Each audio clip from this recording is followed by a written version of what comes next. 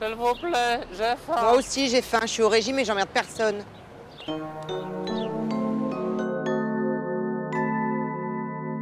Quand on apprend que celle qui cuisine, c'est celle qui donne de l'amour dans la nichée.